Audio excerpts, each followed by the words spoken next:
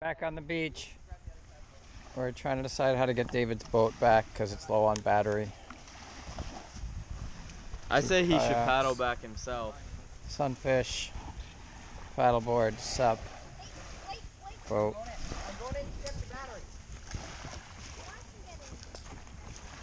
Stay tuned. More to come.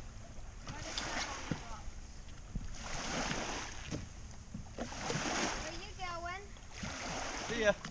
He's checking the battery, David. You can. Oh, you got plenty.